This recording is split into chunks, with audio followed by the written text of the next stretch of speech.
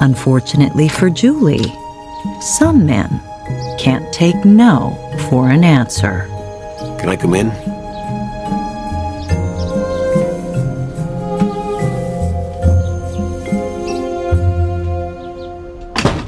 What, what? That's it? Is that simple for you? You have to leave now. Come on, come on. Let- Let's just talk about this. There is nothing to talk about. Yes, You there just is. Go. Come on, talk to me, huh?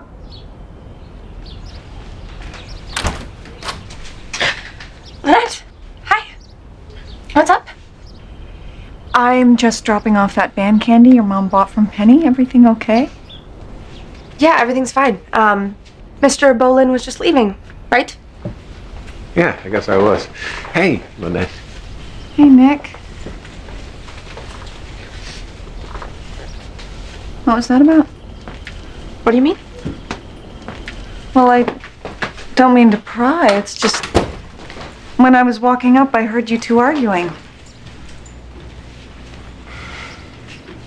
He's the guy.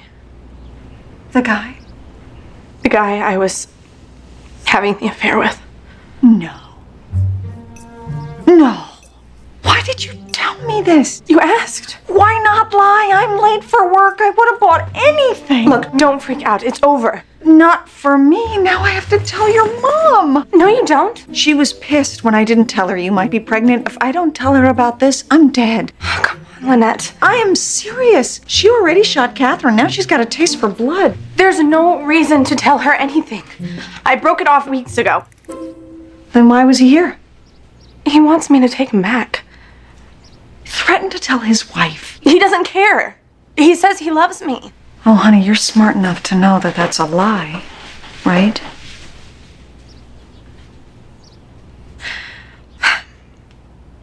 I keep trying to get over him, but then he comes over here and he, he says all this stuff, and I, I just get so confused.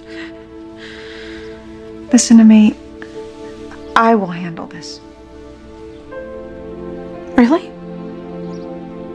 And you you won't tell my mom? No, I won't.